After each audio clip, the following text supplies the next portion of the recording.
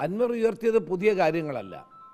ഞാൻ പ്രതിപക്ഷ നേതാവായിരുന്ന കാലഘട്ടത്തിൽ ഉന്നയിച്ച കാര്യങ്ങൾ തുടങ്ങി ഇതുവരെയുള്ള കാര്യങ്ങൾ പരിശോധിച്ചാൽ ഇതെല്ലാം സത്യമാണ് എന്ന് ജനങ്ങൾക്ക് ബോധ്യപ്പെടും. എല്ലാ അഴിമതിയുടെയും പ്രഭവ കേന്ദ്രം മുഖ്യമന്ത്രിയുടെ ഓഫീസാണ് എന്ന് ഞങ്ങളന്ന് പറഞ്ഞതാണ്. സ്വർണക്കള്ളക്കടത്ത് മുതൽ നാട്ടിൽ നടക്കുന്ന എല്ലാ ഇത്തരം പ്രവർത്തനങ്ങൾക്കും നേതൃത്വം കൊടുക്കുന്നത് മുഖ്യമന്ത്രിയുടെ ഓഫീസാണ്. ഇപ്പോഴും അത് തുടരുകയാണ്. അതുകൊണ്ട് അൻവർ ഉന്നയിച്ചത് പുതിയ കാര്യങ്ങളല്ല. പണ്ട് മുതൽ തന്നെ പ്രതിപക്ഷം പറഞ്ഞുകൊണ്ടിരിക്കുന്ന കാര്യങ്ങളാണ് അൻവർ ഇപ്പോൾ ഉന്നയിച്ചിട്ടുള്ളത്. പിന്നെ അന്ന അൻവർ പ്രതിപക്ഷ പ്രതിപക്ഷത്തല്ല അൻവർ ഭരണകക്ഷിയിലാണ്. അതുകൊണ്ട് സ്വാഭാവികമായും അതിന് കൂടുതൽ വാർത്താ പ്രാധാന്യമുണ്ടാകും പക്ഷേ ഒരു ഭരണകക്ഷി എം എൽ എ ഇത്തരം കാര്യങ്ങൾ പറയുമ്പോൾ അതിന് പ്രാധാന്യം വർദ്ധിക്കുമെന്ന കാര്യത്തിൽ സംശയം വേണ്ട. കൂടെ കിടക്കുന്നവർക്കല്ലേ രാപ്പനി അറിയാവുന്നത്? അപ്പോൾ കേരളത്തിലെ മുഖ്യമന്ത്രിയുടെ ഓഫീസ് എല്ലാവിധ സാമൂഹ്യ വിരുദ്ധന്മാർക്കും ഇടയും താവളമായി മാറുന്നു. മുഖ്യമന്ത്രിയുടെ രാഷ്ട്രീയ കാര്യ സെക്രട്ടറി എല്ലാ അഴിമതികൾക്കും കൂട്ടുനിൽക്കുന്നു എല്ലാ സാമൂഹ്യ വിരുദ്ധ പ്രവർത്തനങ്ങൾക്കും കൂട്ടുനിൽക്കുന്നു ബി ജെ പിയുമായിട്ടുള്ള രഹസ്യധാരണ ഉണ്ടാക്കുന്നത് മുഖ്യമന്ത്രിയുടെ പേരിലുള്ള കേസുകൾ അവസാനിപ്പിക്കാൻ വേണ്ടിയാണ്. ഇതെല്ലാം പകൽ പോലെ വ്യക്തമായിട്ടുള്ള കാര്യമാണ്. ഇപ്പോൾ ഓരോ സംഭവങ്ങളും നമ്മൾ പരിശോധിച്ചാലും ഇതെല്ലാം മുഖ്യമന്ത്രിയും മുഖ്യമന്ത്രിയുടെ ഓഫീസിന്റെയും പങ്കാളിത്തം തെളിവാകുന്ന കാര്യങ്ങളാണ്. ഇവിടെ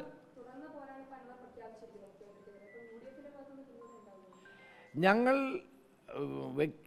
അൻവർ എന്ന വ്യക്തിക്ക് പിന്തുണ കൊടുക്കാൻ ഇതുവരെ തീരുമാനിച്ചിട്ടില്ല. അതിനെപ്പറ്റി ഇതുവരെ ആ പാർട്ടിയോ മുന്നണിയോ ആലോചിച്ചിട്ടില്ല. ഇന്നലെയും നേതൃയോഗം ഉണ്ടായിരുന്നു യു ഡി എഫിന്റെ. ഞാനും പങ്കെടുത്തതാണ്. അതിൽ അത്തരം കാര്യങ്ങൾ ആലോചിച്ചിട്ടില്ല. പക്ഷെ അൻവർ പറഞ്ഞ കാര്യങ്ങൾ വളരെ പ്രസക്തമാണ്. അൻവർ പറഞ്ഞ കാര്യങ്ങൾ കേരളത്തെയും ജനങ്ങളെയും ബാധിക്കുന്ന കാര്യങ്ങളാണ്. ഭരണത്തെ ബാധിക്കുന്ന കാര്യങ്ങളാണ്. അപ്പോൾ അതിനെ നിസ്സാര നിസ്സാരവൽക്കരിക്കാൻ സാധ്യമല്ല. അദ്ദേഹം ഉന്നയിച്ച കാര്യങ്ങളെ സംബന്ധിച്ച് വ്യക്തമായ അന്വേഷണം ഉണ്ടാകണം. വാസ്തവത്തിൽ ഒരു സിറ്റിംഗ് ജഡ്ജിയെ കൊണ്ട് അന്വേഷിപ്പിക്കേണ്ട കാര്യങ്ങളാണ് ഇപ്പോൾ പുറത്ത് വന്നിരിക്കുന്നത്. മാത്രവുമല്ല ബി ജെ പിയുമായി വളരെ രഹസ്യമായ ധാരണയിലാണ് സി പി എം ഇപ്പോൾ മുന്നോട്ട് പോയിക്കൊണ്ടിരിക്കുന്നത്. രണ്ടുപേരുടെയും ലക്ഷ്യം യു ഡി എഫിനെ തകർക്കുക കോൺഗ്രസിനെ തകർക്കുക എന്നുള്ളതാണ്. അപ്പോൾ ബി ജെ പിക്ക് കേരളത്തിൽ വേരുറപ്പിക്കാനുള്ള അവസരം ഉണ്ടാക്കിക്കൊടുത്തത് കൊടുത്തത് കേരളത്തിന്റെ മുഖ്യമന്ത്രിയാണ്. തൃശ്ശൂരിലും തിരുവനന്തപുരത്തും ജയിപ്പിക്കാനായിരുന്നു പദ്ധതി. തിരുവനന്തപുരത്ത് അത് നടന്നില്ല തൃശ്ശൂരിൽ അത് നടന്നു. അതിനാണ് പൂരം കലക്കിയത് ഉൾപ്പെടെയുള്ള സംഭവങ്ങൾ ഉണ്ടായത്. ഏതായാലും കേരള രാഷ്ട്രീയത്തിൽ വസ്തുതകൾ ഓരോന്നോരോന്നായി പുറത്തു വരുമ്പോൾ പരുങ്ങലിലാകുന്നത് സി പി എം തന്നെയാണ്. അവർക്കിതൊന്നും മറുപടി പറയാനില്ല എന്നുള്ളതാണ് സത്യം.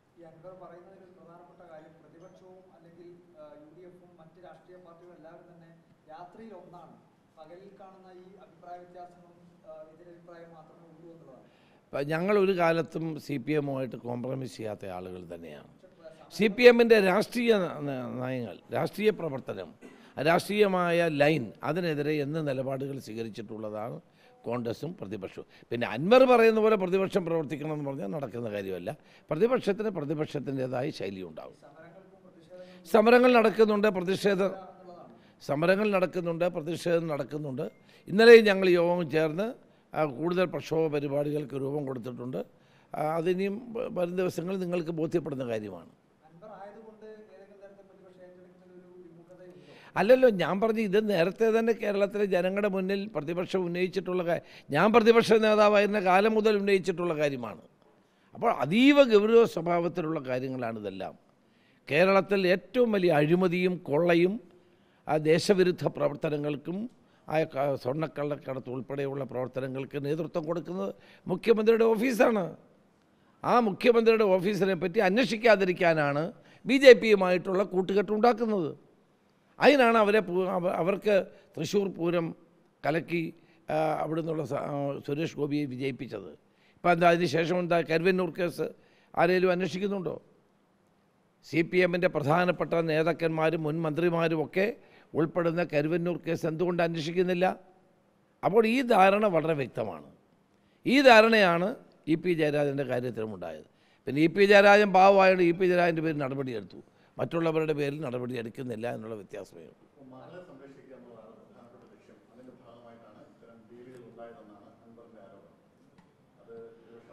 അല്ല അതെല്ലാം അതെല്ലാം സത്യമാണ് എന്ന് എല്ലാവർക്കും ബോധ്യമുള്ള കാര്യമല്ലേ?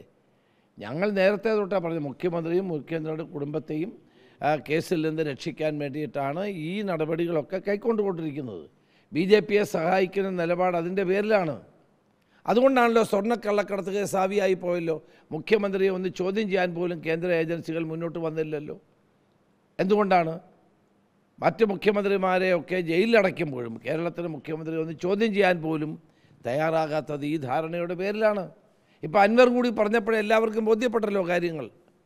അപ്പോൾ അതുകൊണ്ട് അൻവർ ഉന്നയിച്ച കാര്യങ്ങൾ ഒരു സിറ്റിംഗ് ജഡ്ജിയെ കൊണ്ട് അന്വേഷിപ്പിക്കേണ്ടിയിരിക്കുന്നു എന്നുള്ളതാണ് സത്യം.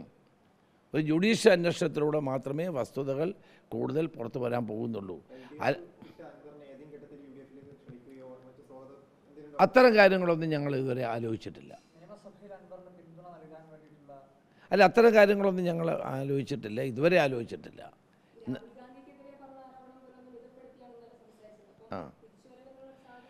അല്ല ഞങ്ങൾ അതാ പറഞ്ഞത് അതിനെപ്പറ്റി ഇതുവരെ ഞങ്ങൾ ആലോചിച്ചിട്ടില്ല. അത് ആലോചിക്കേണ്ട സന്ദർഭത്തിൽ യു ഡി എഫ് ആലോചിക്കും. അന്വർ ഉന്നയിക്കുന്ന വിഷയങ്ങളെ ഞങ്ങൾ തള്ളിക്കളയുന്നില്ല. കാരണം അത് ഞങ്ങൾ നേരത്തെ ഉന്നയിച്ച വിഷയങ്ങളാണ്. തന്നെയുമല്ല അത് കേരളത്തിലെ ജനങ്ങളെ ബാധിക്കുന്ന വിഷയമാണ്. ഒരു ഭരണത്തിൽ നടക്കുന്ന കൊള്ളയും അഴിമതിയും അനധികൃതമായ കൂട്ടുകെട്ടും പുറത്തു വന്നിരിക്കുന്ന സാഹചര്യത്തിൽ അത് അതീവ ഗുരുതരം തന്നെയാണ്.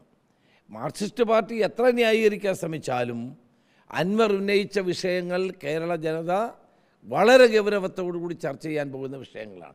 ചർച്ച ചെയ്തുകൊണ്ടിരുന്ന വിഷയമാണ് നാളെയും ചർച്ച ചെയ്യും. അപ്പോൾ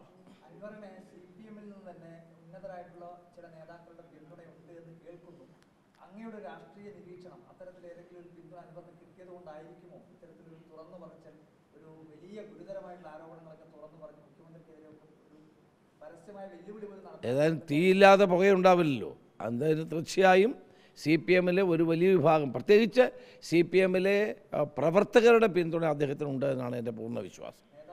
നേതാക്കന്മാരിൽ ഒരു വിഭാഗത്തിന്റെയും പിന്തുണ ഉണ്ടെന്നാണ് വാർത്തകൾ കേൾക്കുന്നത്.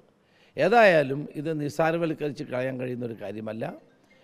ഇടതുമുന്നണിയുടെ ഒരു എം എൽ എ തന്നെ അവരോടൊപ്പം നിൽക്കുന്ന ഒരു എം എൽ എ തന്നെയാണ് ഇപ്പോൾ ഈ അഴിമതികളും കൊള്ളയും രാജ്യദ്രോഹ പ്രവർത്തനങ്ങളായ പുറത്തു കൊണ്ടുവരാൻ വേണ്ടി ഇപ്പോൾ ശ്രമിക്കുന്നത്. അത് ഗൗരവത്തോടെ എടുത്ത് ഒരു അന്വേഷണത്തിന് ഗവൺമെന്റ്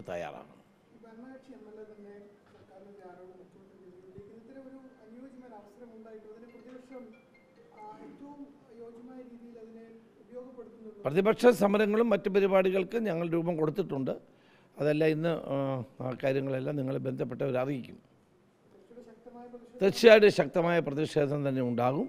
ഇത് കേരളത്തെ ജനങ്ങളെ ബാധിക്കുന്ന കാര്യമാണ്. ഏതോ വ്യക്തിയെ ബാധിക്കുന്നതല്ല. ഭരണത്തെ ബാധിക്കുന്നു എന്ന് പറയുമ്പോൾ കേരളത്തെ ജനങ്ങളെ ബാധിക്കുന്ന ഒന്നാണ്. ഏതായാലും കേരളത്തിലെ സി പി എം സമ്പൂർണമായ ജീർണത ബാധിച്ച ഒരു പ്രസ്ഥാനമാണ് എന്നിപ്പോൾ തെളിഞ്ഞിരിക്കുന്നു